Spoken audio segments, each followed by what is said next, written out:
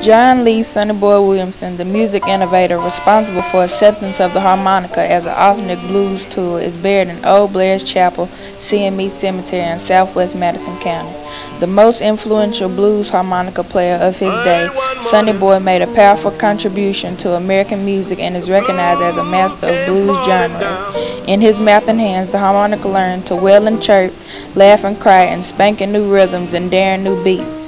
John Lee Sonny Boy Williamson was born in southwest Madison County on March 30, 1914, to Ray Williamson and Nancy Utley. According to Sonny Boy's half-brother, T.W. Utley, Sonny Boy taught himself how to play the harmonica by listening to and playing along with records on an old wind-up record player. This video time capsule was brought to you by the media production students at Southside High School in Jackson, Tennessee and the Tennessee Historical Commission.